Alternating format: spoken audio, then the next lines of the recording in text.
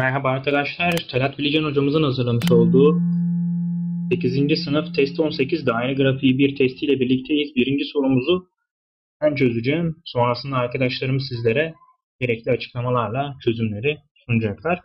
Aşağıdaki tabloda bir manavda satılan ürünlerin miktarları gösterilmiştir. Kilogram cinsinden verilen domates, marul, soğan ve biberi görüyoruz. Tablodaki veriler daire grafiğine dönüştürülürse marula ait dilimin merkez açısı kaç derece olur demiş. Böyle bir tabloda oluşacak durum öncelikli olarak tüm hmm, ürünlerin toplam miktarını bulmak lazım. Burada kilogram cinsinden toplam miktar 320, 420, 440, 540, 620, 720 kilogram olarak toplamını bulabiliriz. Buradaki toplam miktar 720 kilogram olmakla birlikte 360 derece ile gösterilecektir. Ve ardından marula ait merkez açıyı sorduğu için yine aynı şekilde daire grafiğinin merkez açısını bulabilmek için şöyle marulun 100 kilogram olduğu görülüyor. Merkez açının kaç derece olacağı soruluyor. Buradan bir doğru orantı kurarız. İçler dışlar çarpımı yapabiliriz ya da Aradaki oranları kontrol edebiliriz ki 720 kilogramdan 360 dereceye 2'ye bölerek ulaşabiliriz. Aynı şekilde 100 kilogramı da 2'ye böldüğümüzde yine 50'li bir sonuç buluruz ve bunun derece olduğunu aynı birimden olduğunu bilmemiz gerekir. Birinci sorumuz denizli olacaktı. Evet Tuna nasıl yapacağız? Hocam şimdi daire 360 derece. Bunları topluyoruz. 330 derece oluyor. 360 derece daire. Bunların toplamı 120, 150 ve 60 toplarsak kaç yapıyordu? 330. Peki sonra? Geriye 30 derecelik kalan kalıyor. 3600'de hocam şimdi e, ona bölsek 360 olur. O yüzden 30'u da 10 ile çarpacağız. Aslında 3600'ü herhalde 360'a bölüyoruz ki buradan 10 katı olduğunu fark ediyoruz. Hani 3600 liraydı. 360 dereceydi. TL'ydi. 10 katı olduğunu fark ettik.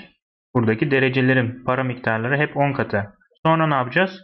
Sonra 30'da 10 çarpacağız. 300. Mesela ulaşım için harcanan para diyor. Burada ifadenin birinde. 30 ile o yüzden onu çarptığımızda 300 TL ulaşıma gitmiş. Sonra 150 gıda içinde 150 ile onu çarpacağız. 150 ile onu gıda için çarparsak 1500 TL olmuş olur. Onları da çıkaracağız. 1200 kalacak. 1200 TL gibi bir miktar kalmış oldu. Teşekkür ederiz Tuna. E, toplam 720 birey sayısı var hocam. E, grafik- 720'yi herhalde şuradan bulduk değil mi Utku? Evet. Toplam 720 birey sayısı var dedi. Evet. Ondan sonra hocam e, 360 derece çünkü daire grafiğini istiyor. 360 derecesi 720 ise 700, 360 derecede 720 kişi varsa şimdi tek tek deneyeceğiz mesela A grubu 110 kişi. 110'da kaç kişi vardır? Şimdi onu yapıyordum hocam. 360 çarpı 110 bölü 720 dedim. Yani bunu ben şöyle yapardım Utku. Şöyle düşünürdüm. Mesela e, kişi sayısının yarısı gibi derece ya. Düşününce. Aha. 110'un da yarısı olması beklenir. Bu kural hep yarısı olarak devam edecektir. Mesela 110 için 55 derece olmuş olması lazım. O zaman B'de kaç olur? Yarısı mı o da? Yok. Yani hep yarısı olacak zaten. Ha. A'da 55. B'de, O zaman alt, 65 o da. C'de, Öbürü de 70 olur. Öbür D 50 olur. Öbürü 80 olur. Öbürü de 40 olur. bize 40 e, bize ne 60 diyordu? Merkez açı 60'tan büyük diyordu. Hocam F değil, D, D değil. Onun dışındakilerin hepsi büyük. 1, 2, 3, 4 tane. A değil, D A değil, Pardon. B değil. D, bir de F değil. 3 tane. 1, 2, 3. Aslında olanları da işaretleyebilirdik. 3 tane olacakmış. Teşekkür ederiz. Nohut ekenler 110 dereceymiş. 440 çiftçiymiş. E, 440'ı 110'a bölünce 4 çıkıyor. E, demek ki bir derece 4 çiftçi oluyormuş. Buğdayla yani 150 dereceyle 4'ü çarpınca 600 oluyor. buğday 600 çiftçiymiş demek ki. E, buğdayla nohutun derecelerini toplayınca da e,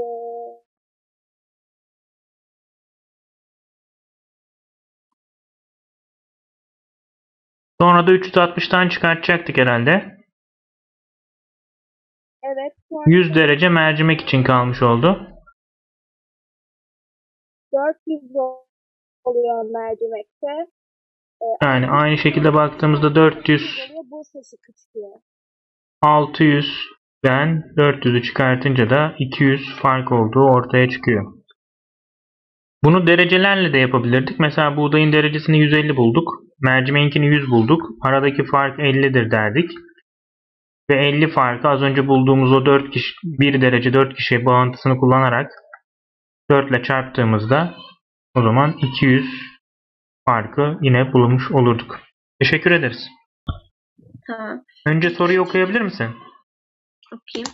Aşağıda, aşağıdaki tabloda bir okulda 8. sınıf öğrencilerinin yıllara göre sınav kazanma oranları verilmiştir. Tablodaki veriler daire grafiğine dönüştürülürse 2016 yılına ait dilimin merkez açısı kaç derece olur? Evet. Ee, şimdi ilk önce yüzde oranlarını topladım. 100 çıkıyor. Yani ee, üç- 360'ı ilk önce 100'e böldüm. 3 tam onda 6 çıktı. Yani burada yüzde birlik oran ee, 3 tam onda 6 ile gösterilmiş. O yüzden bunların ee, merkez açılarını bulmak için ee, 3 tam onda 6 ile çarpmamız gerekiyor. 2016 yılını sordu. Yani aslında şöyle yapsak olur mu mesela 36 ile çarpıp 10'a bölsek. Hı. Yani Evet. 3 tam 10, 10 da 6 ile çarpmayla eşdeğer bir şey olabilir. Tabii. Hmm. Peki. Sonra daha kolay çarpmak için 30 çarpı 3 tam onda 6'yı ikisini de genişlettim. 300 çarpı 36 yaptım. 10.080 800 çıktı. Onu da sadeleştirince 108 oluyor. Evet böyle de aynı şey olmuş olur. Zaten bizim sayımız buydu. 36 bölü 10 ile çarpacaktık. Çarptığımızda 108 olarak bulabiliriz. Teşekkürler. Sonra da çözelim. Buyur. Aşağıdaki dairesel grafikte Meva'nın bir yılda okuduğu kitapların türüne göre sayıları gösterilmiştir. Buna göre dairesel grafikte hikaye kitaplarını gösteren dilimin merkez açısı kaç derece olur? Ee, öncelikle bunu bulmak için 30, 20 ve 40'ı topladım ve 90 buldum. Ve bir orantı kurdum. 360 90 sa yani 90 360 ise hikaye kitabını sorduğu için 40 x derecedir dedim. O e, 4 katı olduğu için 40 çarpı 3'ten 120 buldum. Evet. 4 katı deyip 4 katı olduğu için Tamam A o zaman. 160 İki işlem derece yapmıştık. bulmuşuz o zaman. Altı altı kaldığı için. Evet. Teşekkür ederiz. Olur o kadar. Hocam ben başka Buyur. Tabloda veri, tablodaki veriler daire grafiğine dönüştürülürse fatura türlerinden birinin merkez açısı aşağıdakilerden hangisi olamaz? Evet. Yani bunların hepsini toplarız hocam başta. 1080 çıkar. Peki. 1080 TL faturaların tümü. Evet hocam bizim dairemiz 360 derece olduğu için 1080'i 360'a böleriz. 3 çıkar. Tam böldük. Yani burada kat sayımızı 3'e böleceğiz. Peki para miktarını 3'e böldüğümüzde dereceyi buluyoruz. Aynen. Ee, 213'e böleriz 70 çıkar. Peki. 180'i 3'e böleriz 60 çıkar. Evet. Ee, geriye hocam onu bölersek onu hesaplamamıştım ama 170 çıkar. Bu da 60 çık- e, 60 çıkar. Geriye 90 kalır. Yani 93 60'ı bulduk, birinin olmadığı 70'i için- bulduk, 170'i bulduk, 90'ı bulamadık. Ya da şöyle yapabiliriz. Şıkları 3 ile çarpsak yine aynı sonuca gideriz. Hani 3 ile çarptığımızda 180 Aynen. lira var mı? Var. 3 ile çarpınca 210 var mı? İşte buna bakarız. Var mı? Var. 173 ile çarparız, 93 ile çarparız diye bulabiliriz. Teşekkürler. Aşağıdaki grafikte bir okuldaki 288 öğrencinin gittiği kurslara göre dağılımı verilmiştir diyor. Buna göre kursa giden öğrenci sayısı hangisinde yanlış verilmiş onu soruyor. Şimdi burada fen bilimlerinin derece karşılığı yok. Önce onu bulalım. Diğerlerini toplarız. 360'tan çıkartırız ve 150. 165 bunları toplayıp 10'un 0 elde var 1 10, 16, 17 1 Öyle mi? 2 Kaç demiştin sen? Ben 150. Ha orası mı? Nasıl 150 oluyor ki? Aa ben 165'i 105 diye topladım. Yani. Peki. 360'tan 270'i çıkartırsak da 90 derece olduğunu görebiliriz. Fen bilimlerinin. Şimdi fen bilimleri 90 derece olduktan sonra hepsini biliyoruz artık. Geriye kalan 288 öğrenciyi paylaştırmak. 288 öğrenci öncelikli olarak toplama eşit olduğu için 360 dereceye eşittir. O zaman her birini şöyle bir sadeleştirsek bir baksak mesela her ikisini de mesela 4'e bölsek. 4'e bölsem 72 olur. 4'e bölersem 90 olur. Sonrasında varsayalım ki 6'ya böleyim 12 olsun. 6'ya böleyim 15 olsun. Bölünebildiğini biliyorum çünkü. Bunları da istersem şu an aslında görebildiğim kadarıyla şöyle bir şey oldu. 288 tane öğrenci 12 öğrenciye düşmüş oldu. Aynı şekilde 360 derecede 15 dereceye düşmüş oldu. Bunların her biri aslında 15'in katı. Bunu fark ettiğim anda aslında daha fazla sadeleştirmeme de gerek yok. Çünkü kaç tane içinde 15 varsa onu 12 ile çarparsam kişi sayısını bulmuş olurum ki mesela burada 165'in içinde 15'i 11 defa olduğunu biliyorum. Sonrasında da 11'i 12 ile çarparsam 11 çarpı 12 olarak 132 tane matematik öğrencisi olması lazım. Mesela burada 136 demiş. Yanlış demiş. Yanlışlıkla hemen bulduk. 45 için düşünürsek mesela 45'te 15 3 defa var. 3 ile 12'yi çarparsam 36 tane Türkçe öğrencisi olması lazım. Burada zaten 36 tane yazılmış. 60 için yine 15'e bölersem 4 tane olacak. 4 ile 12'yi çarparsam da 48 öğrenci olması lazım İngilizce'de. 48 verilmiş. 90'da 15 6 defa var. 6'yı 12 ile çarparsam 72 öğrenci olacaktır fen bilimleri için. Bu da doğru. Yanlışlık zaten D'ydi. Biz de onu bulmuştuk. Var mıdır sorusu olan? Olur. Başlayalım. Aşağıdaki grafik 540 kişiye yapılan film türü anketinin sonuçlarını göstermektedir. Buna göre macera türünü tercih eden kaç kişidir? İlk baş dram, gel- gel- gerilim ve komedinin derecelerini topluyoruz. 190 çıkıyor. 2. 190 derece yaptı. Sonrasında Sonra 360 eksi 190 o da 170 çıkar. 540 kişi 360 derece ise 170 derece kaç kişidir? Olur. İçler dışlar çarpımı 540 çarpı 170 eşittir 360 çarpı x olur. Buradan da sadeleştirmeleri yaparsak x 255 çıkar. ben de yapacağım da normalde kalem yazmasına rağmen ekran yazmıyor şu an. Ben durdum o yazıyor şu an. Ben de aynısını buldum ama fark o şekilde buldum. Yani böyle bulmak daha hoş olacaktır. Her ikisini mesela burada sadeleştirirsek dedi. Kaç buldum dedin? 255. Öyle mi? Evet. Peki. Buraya not almış olalım. D şıkkını da işaretleyelim. Teşekkür ettik. Bir şey değil. D'yi işaretleyebilecek mi bakalım?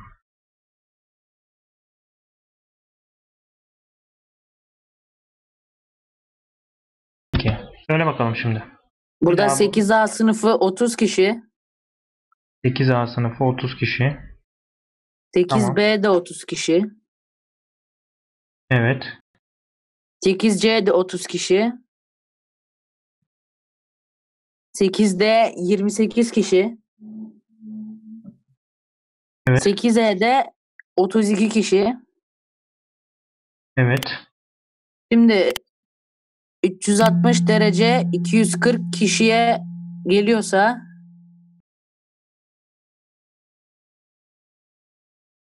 kaç derece 30 kişiye denk gelir? 30 kişiye değil de. He. 30 kişiye. Anladım. Şuranın tamamını alsaydık. Oranın tamamını alsaydık kaç olurdu? 90, 150 olur işte. 150 kişi olurdu. Kaç derece? 150 kişiye denk gelir. Yapardık. Bir Evet. hamlede bence bitirirdik gibi geldi. Bence de. 2'ye bölüp 3 ile çarpınca dereceyi buluyoruz. Bu taraftan giderken. Aynı şeyi burası için yaparsak 2'ye bölüp 3 ile çarparsak 150'yi 2'ye bölersek 75 3 ile çarparsak da 225 olacaktır. Doğru mu Mert? Evet. Teşekkür ederim. Aşağıdaki dairesel grafiklerde 3 öğrencinin hafta sonu çözdükleri sor- e, soru sayılarının oransal dağılımı gösterilmiştir. Cumartesi ve pazar günleri var. Can, Ali ve Efe diye 3 tane öğrencimiz var. Can pazar günü çözdüğü soru sayısını cumartesi gününe göre %25 arttırmış. Ali pazar günü çözdüğü soru sayısını cumartesiye göre yüzde kaç arttırmıştır diye soruyor. Can ve Ali'yi karşılaştıracağız ancak ikinci grupta Can'ın derece karşılığı yok. O yüzden 120 ile 140'ı toplarım. 260 ve 360'tan çıkardığımızda burada 100 derecelik açı olduğunu görmüş olmalıyız. Tabi yazarsam. Evet. Oo. Onun dışında şimdi ilk etapta Can'ın 120 soruluk e, bir çözme limiti olsa 120 soruyu 120 dereceyle çözmüş olur. Burada anlatmış olurlar. Dolayısıyla Ali'nin de buradan 100 soru çözmüş olduğunu bekleriz. İlk etap böyle olsun. İkinci etapta Can %25 arttırıyordu pazar günü. O zaman %25 arttırmak demek 4'te 1 arttırmak demek. 120'ye 4'te 1 eklersem 120'nin 4'te 1'i 30'dur. 120 artı 30 150 olur. Şimdi 150 100 dereceyle anlatılmış. O zaman yaklaşık olarak 1,5 katı diyebiliriz. Yaklaşık değil tam olarak 1,5 katı diyebiliriz. 100 dereceyi 1,5'a çarpmışız. Ya da 2'ye bölüp 3 ile çarpmışız da diyebiliriz. Can'ın pazar günü anlattığı soru sayısına 150 dedik. O zaman 1,5 ile 120'yi çarparsak ya da 2'ye bölüp 3 ile çarparsak aynı mantıkla 120'yi 2'ye bölersem 60 olur. 60'ı 3 ile çarparsam 180 olur. Yani Ali'nin pazar günü çözdüğü soru sayısı 180. Şimdi Ali cumartesi günü 100 soru çözmüştü. Pazar günü 180 soru çözmüş diye buldum. Artış da %100'den sanki %180'e doğru dönmüş gibi. O zaman %80'lik bir artış vardır diyebilirim. Sayı 100 olduğu için bunu rahatlıkla söyleyebilirim. Soru 12 ile birlikteyiz. Aşağıdaki grafikte 288 dönümlük alanda ekilen ürünlerin dağılımı verilmiştir diyor. Buna göre aşağıdakilerden hangisi yanlıştır? Öncelikli olarak grafikten anladığımız kadarıyla mercimeğin merkez açısı gizlenmiş. O yüzden öncelikle merkez açıyı bulalım. Toplam 360 derece olduğunu bildiğimiz için 120 derece, 80 derece ve 60 dereceyi topladığımızda 200-260 gibi bir değer elde ediyoruz. Merkez açının 360 derece olduğunu biliyoruz. Buradan çıkardığımızda aradaki farkın mercimeğe ait olduğunu bulabiliriz. 100 derecelik mercimeğin merkez açısı var. Şimdi 288 dönümlük toplam miktar 360 derece ile anlatılmış. Burası dönüm D olarak kısaltalım. Sonrasında bazı bilgiler sorulmuş. Şimdi her biri için ayrı ayrı doğru orantı denklemi kurmak biraz uzun olabilir. O yüzden biz öncelikli olarak şöyle yapıyoruz. İkisini de sadeleştirerek, aynı sayılara bölerek daha küçük değerlere ulaşıp bunları karşılaştırma imkanı bulabiliriz. Mesela 4'e böldüğümüzde 72 olacaktır. Yine 4'e böldüğümüzde 90 olacaktır. 72 dönüm 90 derece ile anlatılmış. Tekrar bakıyorum 6'ya bölüyorum mesela 12 dönüme denk geliyor. 6'ya bölüyorum 15 dereceye denk geliyor. Tekrar 3'e bölebilirim her ikisinde. 4 dönüm 5 derece ile anlatılabilir ki aralarında asal iki tane sayı elde etmiş oldum. Şimdi bu bilgiyi kullanaraktan mesela mercimek için 100 derece anlatılmış. Yani 5 derecenin 20 katı. Dolayısıyla aynı şekilde dönümün de 20 katı olması lazım. Öyleyse 80 olmasını beklerim ki şurada renk değiştirirsem daha güzel olacak galiba artık. 20 katı olduğunu gördüm. Burada 20 katı olduğunu gördükten sonra 4'ü de 20 ile çarptığımda 80 dönüm olarak mercimeği işaretledim. Mısır için aynı şekilde 120 derece 5 derecenin 24 katıdır ve 4'ün de 24 katı 96 dönüme denk gelecektir Mısır. Arpa için aynı şeye baktığımda 5 derecenin 16 katı olduğunu görüyorum arpanın. Yine 16 ile 4'ü çarptığımda 64 dönüme denk gelecektir arpa miktarı. Buğday 5'in 12 katıdır derece anlamında. 4'ün de 12 katı 48 dönüm olarak buğdayı bulabiliriz. Şimdi şıklara dönelim. A şıkkı 48 dönümlük alana buğday ekilmiştir diyor. Bunun doğru olduğunu yine görebiliriz. B şıkkı 64 dönümlük alana arpa ekilmiştir diyor. Yine bunu bulduk. 94 dönümlük alana mısır ekilmiştir diyor. Biz 96 bulduk. Bunu farklı bulduk. Yanlış diyorum. Mercimek ekili alan mısır ekili alandan 16 dönüm daha azdır diyor. 96'dan 80'i çıkardığımda evet 16 ediyor. Bu da doğru. Demek ki yanlış cevabımız C şıkkı olacakmış. Bu anlamda doğru. Bizim de doğru cevabımız olmuş oldu C şıkkı. Dinlediğiniz için teşekkür ederiz. Bir sonraki videomuzda görüşmek ümidiyle. Hoşçakalın. Evet burada testimizin sonuna gelmiş bulunmaktayız. Umarım videomuzdan faydalanmışsınızdır ve beğen butonuna tıklamayı unutmazsınız. Dersimiz Matematik Video kanalının abonesi olmayı da hatırlatarak sizlere derslerinizde, sınavlarınızda ve çalışmalarınızda başarılar diliyorum. Hoşçakalın.